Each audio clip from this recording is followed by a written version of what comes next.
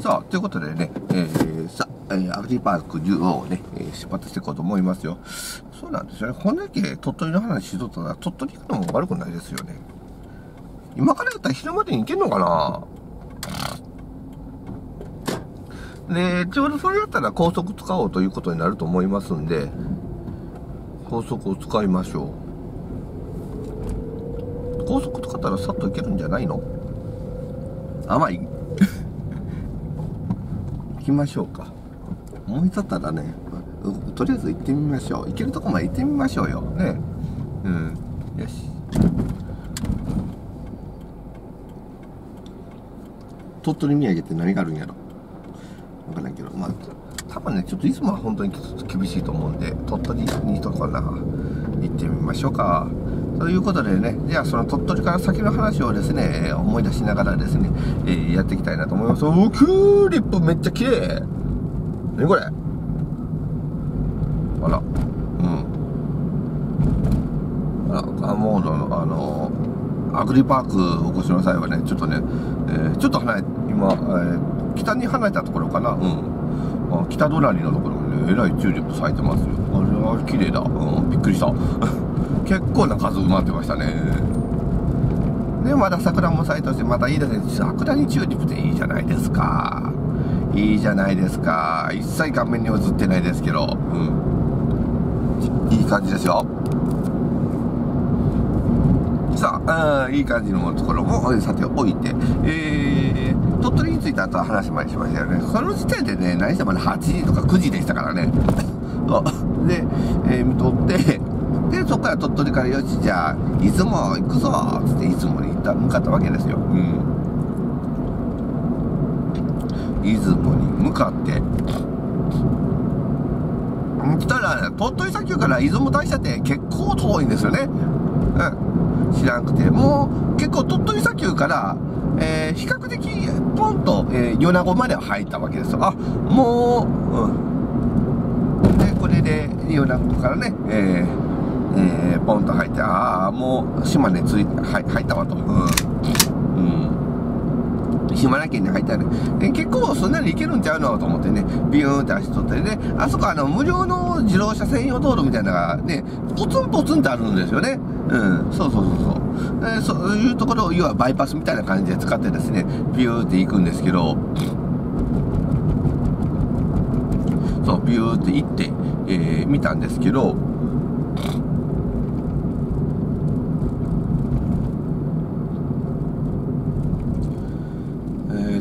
つ南か。でそう、うん、橋ちょっと意外と立ってる。あのね一つだけですねえっ、ー、とねあれはね初見殺しだったと思ったよね。えっ、ー、とねこれはね改善をいただきた。いちなみにね、えー、途中でですね、えー、待機レーズにですね実は大山そばを食べとったっていうのはね覚えといてですよ。うん。そう。あの、構ね、正直大戦争も結構うまかったんですよ。正直あれで満足しとったんですけどね。えー、大山ってあの、だあの大きい山のあの大山ですね。えー、あのー、中国地方では有名な山で、えー、あそこら辺大大山ミルクとかいろいろあってね、あ、そう、それのジェラードも美味しかったんですよ。途中で食べたね。えー、大山いいとこやんって言ってね。で、そばも大大山そばっていうのがちょろっとあったんで、もうね、とりあえず腹減ったし、大山そば食うか、あれ、いつもそばを食うつもりだったんやけど、まあいいや、って言ってね。うん、こっちの名名産よくわからんし、って言って。うん。食べたらうまかったんですよね、大山そばが。うんで、正直もう出雲まで行く必要あるのかと思ったんですけどね。うん。まあでもね、来てしまった以上はね、ここまで来たらね、うん。もうね、えー、乗った船ですからね。えー、えー、でこちら行ってきてもですね。えーと、確かこれやな、神名を曲がればいいんやんな。うん。そう、で、えー、そう、降りていっとって。で、意外と、あれ、あの辺りって温泉多いですよね。どっかちょっと入って、入ってみたいけどね。えっ、ー、と、なんて思いながらね、えー、走っておったわけですよ。そうそう、温泉の看板がすっごい多かったのは覚えてます。で、ずっと走っとって、うん、島から走っていくと、えー、っと、西出雲っていうインターが出てくるんですよね、確か。うん。そう、西出雲って出てきたんで、あ、もうこれ、えー、これもう出雲大社までもうすぐなんや、意外とすんなり来たなと思ったら、西出雲から出雲大社までが遠いこと遠いこと。あれ、あれは行きませんよ、本当に。あのね、どれぐらいあるかっていうとね、あの、それこそね、あの、あ、そう、えー、っと、え、え、越後じゃない。えー、越後じゃなくて、あ、そういえば、越前、越前、えー、越前の、越前市ってあるじゃないですか。うん。あの、越前市の、えーと、あの中、中心の町なんでしたっけね、えー、えー、名前、名前忘れした、あの、うん、中心のところね。あそこから、えー、越前町の海岸ぐらい。って言ったらね、うん、どうでしょう、ピンと来ますか来ませんかあれも遠いんですよ。うん。越前市入ったら、わあ、もう越前海岸もうすぐやと思っとるじゃないですよ。うん。うん。ね、えー、そこからですね、延々走ってですよ。うん。相当走ってね、えー、やっとこさつくのが、うん。本当にやっとこさって感じでね、え、そこから1時間以上かかりましたもんね。結局、出雲の市内の方入るだけで。うん、で、そこから出雲の大社の方見つけて、出雲大社、あどこかあ、有料駐車場を透明させてもらって、うん。うん平日もやっぱ混んでるんですね。さすが大社。え伊勢神宮もそうですけど、うん。すごく混んでましたよね。うん。で、あそ、あそこは入入れないといけないですね。うん。二例二泊と違ってね、そう、独特のね、5泊でしたっけ？ポンポンポンポンポンとかってする、えなんかあるんですよね。えー、そう、えー、それやってきましてですね、縁結びのところでね、えー、うん、まあ、えー、私はあれだったんでね、まあちょっと周りでね、えー、靴か靴かんかったところですね、えーえー、ところねちゃん、ちゃんとやったってくださいよっていうね、お祈りをしてですよ。うんで、え早速、えそれであのずっとあの、参道のところ歩いてですよ。で、あそこら辺の、のどぐろぐろとか持ってるんですよね。えっと、京都方面行きゃいいのかな？よし。路面表示は大阪方面で、看板は京都方面なんやね。えさあ。スマートインターでゆっくりからかね。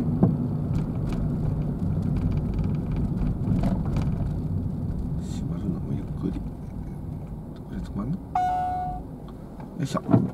あいたいた。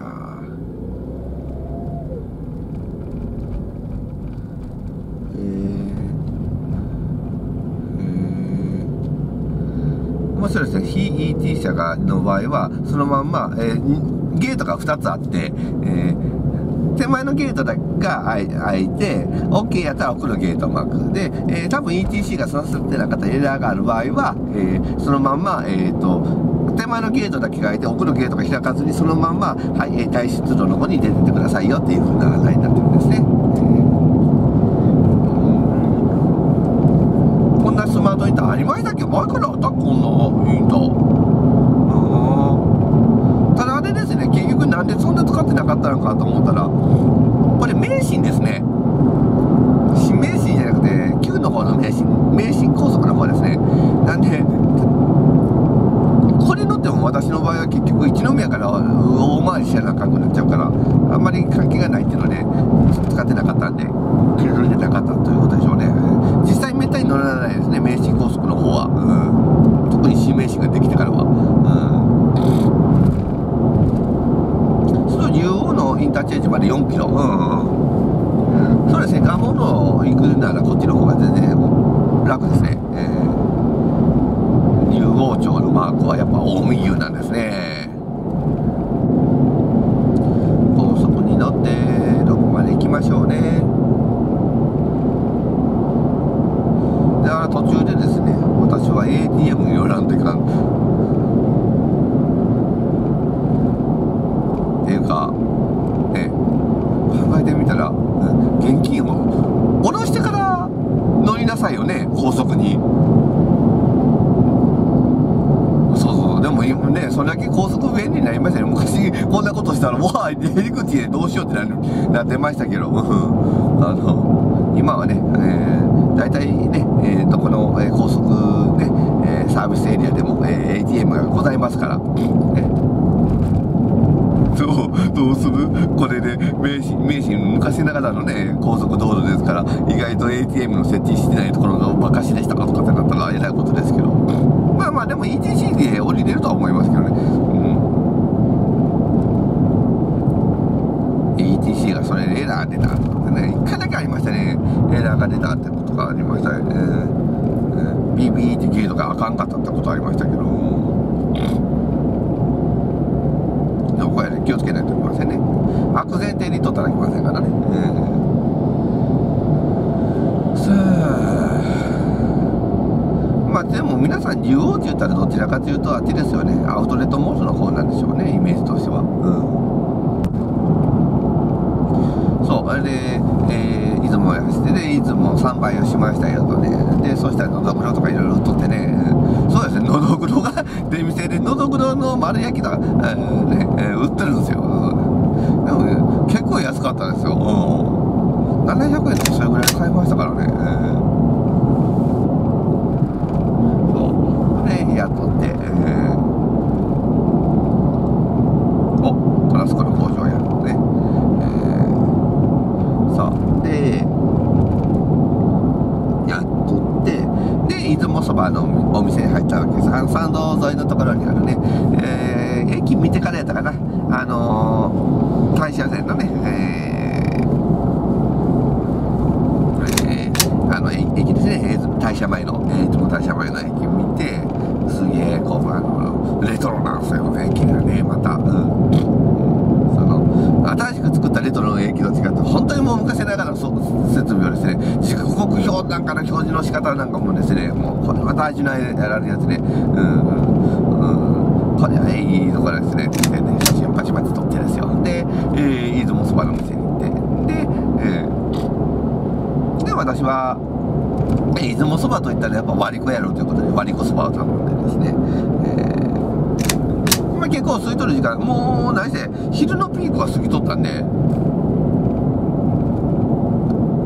そう昼のピークは過ぎとったんで、えー、普通の、えー、結構ストンと座れてですよ、うん、まあ平日でしたしね、えー、で私が割り子を頼んで。で、えーえー、YS 君が YS 君が YS 氏はえー、なんか、釜揚げとかっていうのを頼んだんですよね。うん、なんか釜揚げって何やろうって。言って、これでいいやって。さっき普通のそば食ったしって、まあそうなんですよね。大戦争まで普通のそば食っとるもんで、うん、代わり誰でもいいやってって、うん、頼んだらですね、釜揚げとかっていうのがあってね、うん、頼んだらですね、うん、これがね、うま まあ、なんていうかな、そば湯がちょっと入っとるのかなっていう感じなんですけど、それが逆にですね、美味しい、美味しさを増しとるっていうね、うん、えー、そんなんあるんやってね、えー、やってましたけど、うん、後から聞いたら、結構地元の普通好みの、えー、商品らしいですね、あの、釜揚げとかっていうのは。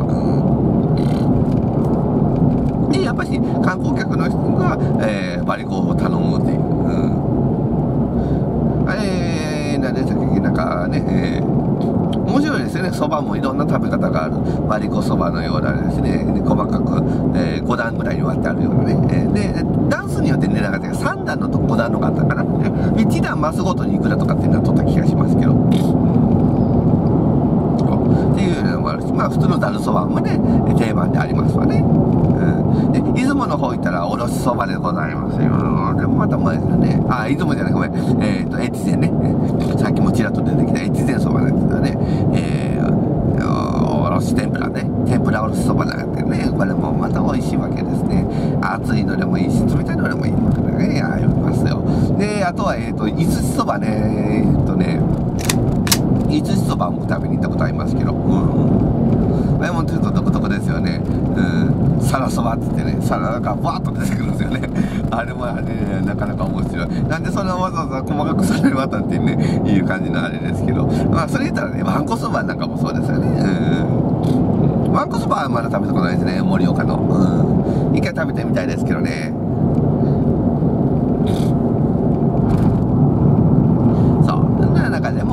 場というのはまた一つのステータスがあるわけでございまして。あ美味しかったですよ。いろんな食べ方ができるっていうのはいいですね。で、えー、次はですね、そこからまた、ちょっと、次のさ、えー、割り子に移すという、割に移すというですね、面白い。えー、で、あそこまでの、えー、えー、その、えー、言いたいやつですね。まあ、それ、昼過ぎ、ね、3時ぐらいから、えー、一生懸命帰ってきて、ええー、で、結局、山経由か。うん。温泉市とかと温泉町とか通ってきて、えー、ずーっとそうね。日本海側メインで走ってきましたね結局。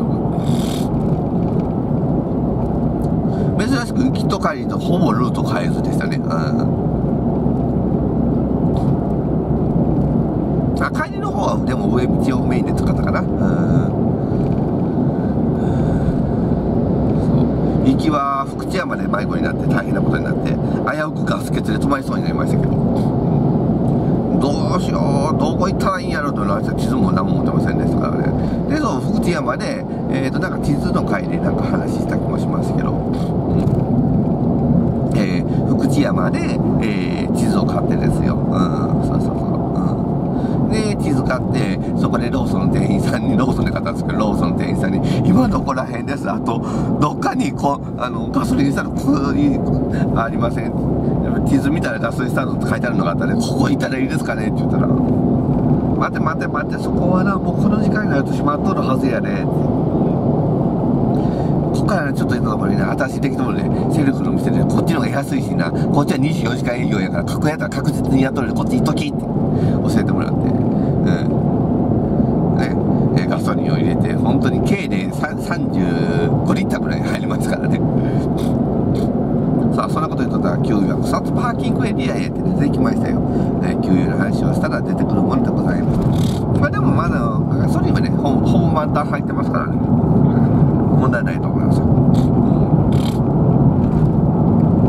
なんでそれを任せていきましょう。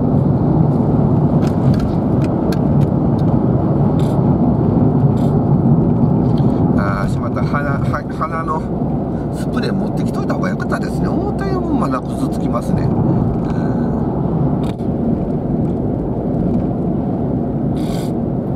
乗り直し料金据え押式 ETC 限定。え ETC つけとったらなんかこれのでちょっと乗り直しをしないとなんか損した気分になりますね。気持ちぶった切りながら、まあ、話したいことも話しましたししばらくは運転集中しようかなと思っております。ということでね電池も持ってないしまだまだこれから鳥取まで長い道のりですからね、えー、何して今ここは、えー、未だに、えー、草津まで約3キロつまりもう草津草津の日との間ぐらいということですからね。まだまだ先です。大津まででも13キロ桂川までで29キロあるわけでございますから。